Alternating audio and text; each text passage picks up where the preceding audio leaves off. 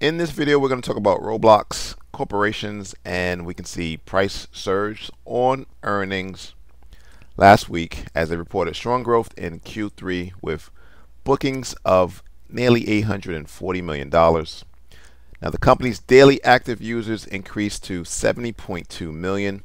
That also represents a 20% growth from the previous year.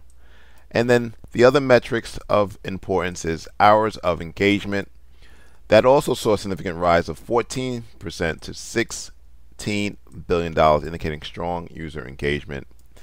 And on the monthly chart, potentially what we see is a potential breakout to the upside as this level near $50 has served as a major resistance band. Now last month price closed at the upper portion of that zone However, right now what we see is a rally, a basing candle for November, and then potentially we're going to see prices move higher again with the broader markets. Now, if you have believed in Roblox, then you would have been buying at $25 when the buyers were protecting this level uh, not once, not twice, but three different times in a span of two years. And so that was would have been the floor uh, and opportunity to get long for, I'll say, aggressive traders. Let's go down to the weekly chart. And this also would have been a great opportunity for the resistance and support traders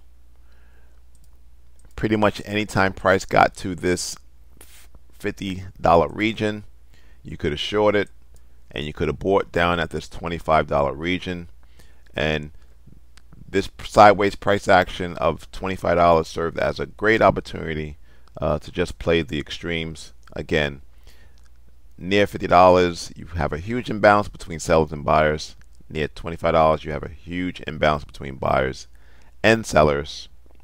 Now we can see the remaining bits and pieces of the sellers at $50. However, today is Wednesday and right now this week's candle is red.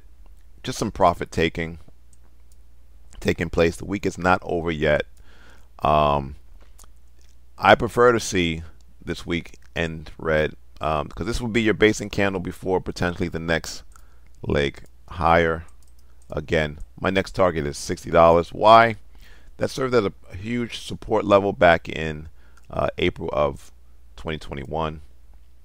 Let's take it down to the daily chart. And right now what we have, this basing candle is the candle in control. What does that mean?